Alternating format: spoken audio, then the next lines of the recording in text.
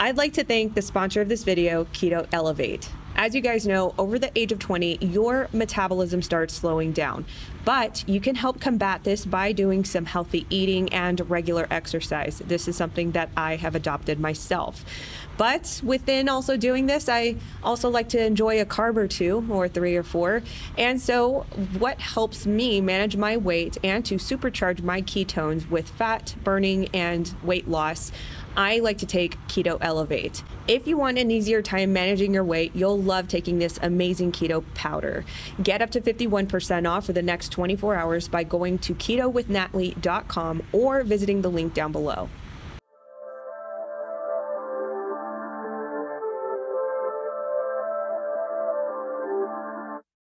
Muchachos y muchachas. So I just made a video about the initial conflicting police narratives that people were questioning within the community, people making assessments. And then I also included in that video, because it was breaking news uh, right when I was editing, that a Texas DPS regional director, Victor Escalon, confirmed everybody's suspicion that the police narrative was conflicting because initially it was uh, told uh, to a reporter that there were immediate resources that engaged in uh, taking down Salvador Ramos as he was on his shooting rampage inside of Robb Elementary. Now, this is not so.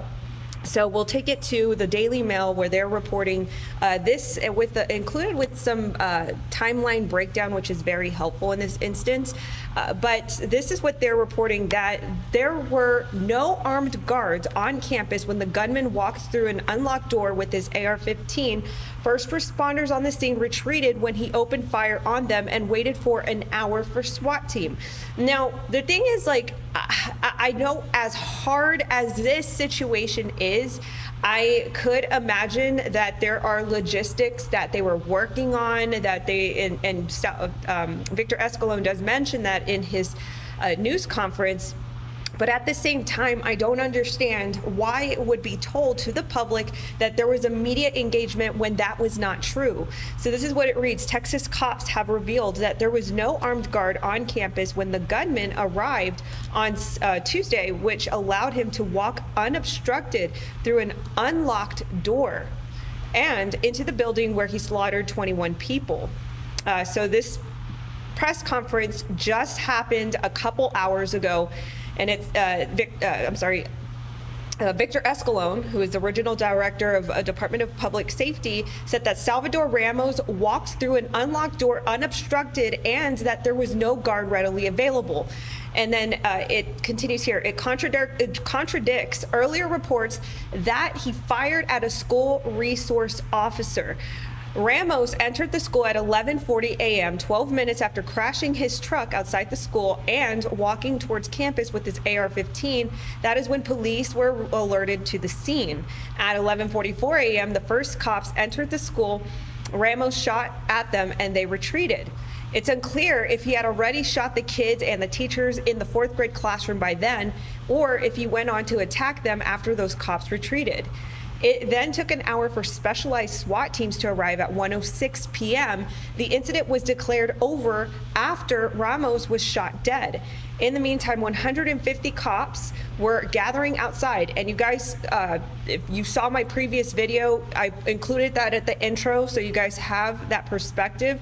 But there were many cops that were outside barricading the entry from parents um, entering the school or getting within the area of uh, a parameter of the school where their children were inside. And you could see in that video that even some parents were pinned down. Um, given the, the, the atmospheric, given the atmospheric um, uh, sentiments at the time, I would imagine that these parents were absolutely in chaos, trying to uh, uh, think of something that they could do when they're helpless, being told that they can't attend to their children. So there's a lot of criticism to this going around now. He walked into an unobstructed initially. Uh, he was not confronted by anybody. Four minutes later, law enforcement are coming in to solve the problem, Escalon said. When the first cops entered the building, he fired at them, injuring at least two of them. The cops then retreated, leaving him to carry on with his killing. They hear gunfire, they make rounds, get back to take cover. They don't make the entry initially because of the gunfire they're receiving. They're calling for additional resources, tactical arms. We needed body armor, precision rifles, negotiators. And he does state this. Uh, this is the part that he states in the press conference of why it took 40 minutes up to an hour for officers or resources to invade the school and take down the shooter.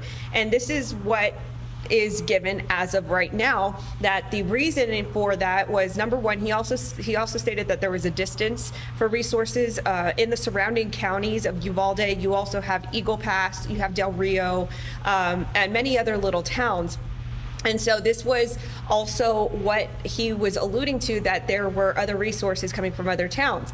Now, the thing about this and why this is receiving criticism is because there were 150 cops that were armed outside. Um, now, continuing on, it says they hear gunfire, they uh, take rounds, they get back and take over. They don't want to make the entry initially because of the gunfire they are receiving. They're calling for additional resources, tactical teams, and they needed body armor, precision rifles, negotiators. They're also evacuating students. There's a lot going on, he said. It's unclear if there was meant to be a resource officer at the school that day. There are four in the district that are at nine schools, including four elementary schools, a junior high, and a high school. So, uh, in uh, that press conference, Victor Escalon, the officer who was addressing the press, he claimed that most of the shooting occurred earlier off in the standoff and that only shots fired once cops were there to keep them at bay. Um, so the the big question now is that why did it take so long? And again, it, for me, this is conflicting because they're saying that they need shields, they need negotiators, they need precision shooters, you know, things like that. Um, but while there are 150 officers right outside, Javier Cazares, uh, whose nine-year-old daughter was murdered, says cops were just standing there and waiting for protective shields to arrive at the uh, scene before they went in. And they said they rushed in and all that, and we didn't see that. He told the New York Times, adding that many were just standing there.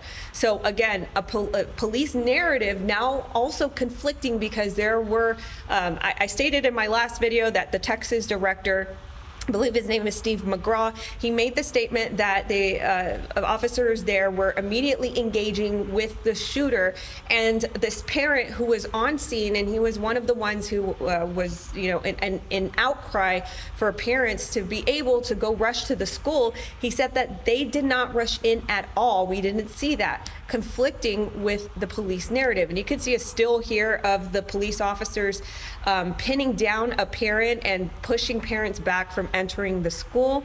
Um, and the thing that I can say about this, you can see all of these parents uh, in anguish, wanting to just uh, be there, attend their children and the cops just uh, uh, holding them down, not being able to go in. Uh, this is actually the woman that I talked to, the parent that I talked to at the Civic Center.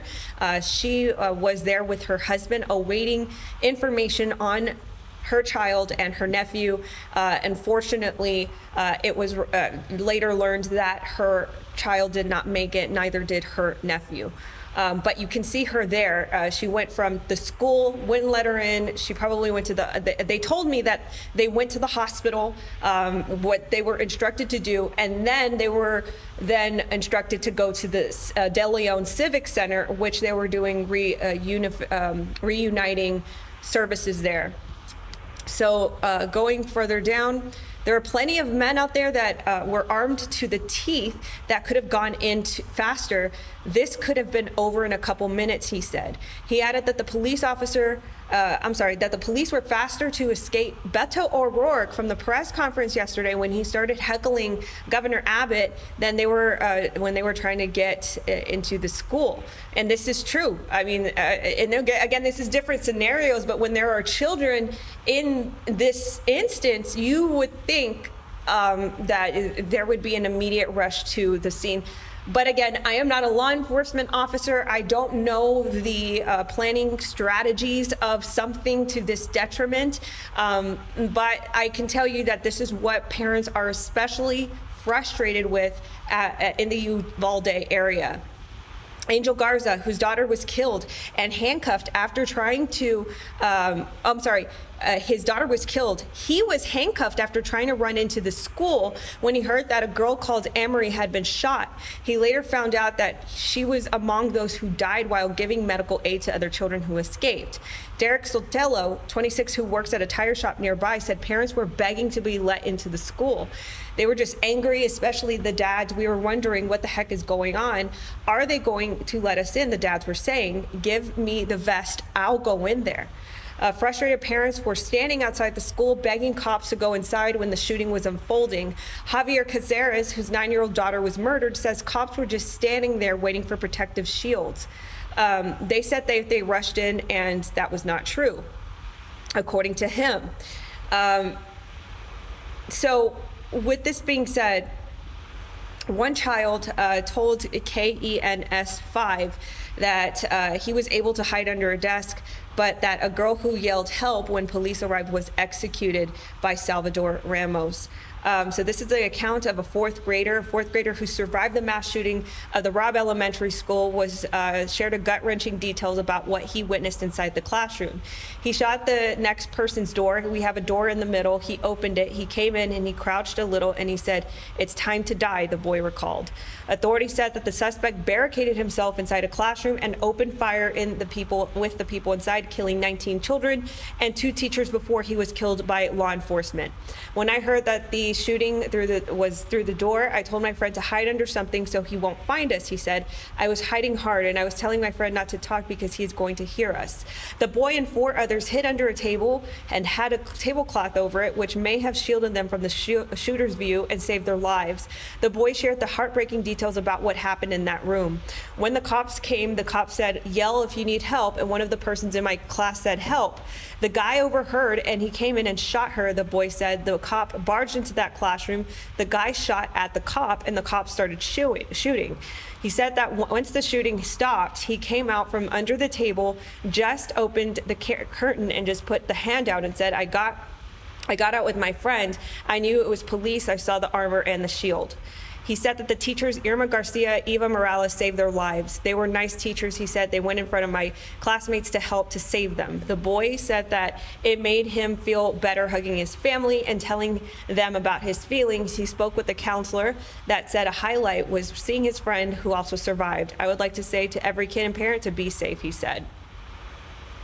So, this is, uh, again, so disheartening that the police narratives uh, can't line up and that, uh, you know, we're left with more questions than answers.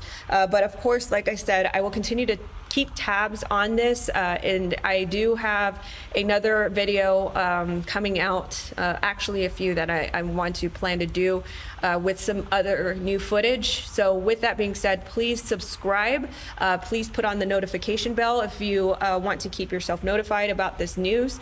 And uh, share this channel with somebody who would be interested to know some play-by-play -play news headlines that give either uh, some new light to the information that was fed to us or um, that clarifies something new in detail. So with that being said, guys, I love you. Thank you so much for your support. I'll catch you in the next one.